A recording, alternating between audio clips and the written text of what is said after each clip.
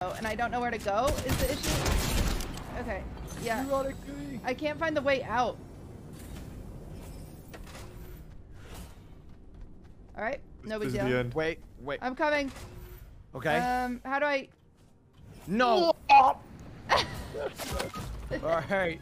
Now Okay, this- Lud, you got this. Oh, are you guys serious? She just jumped off the ship.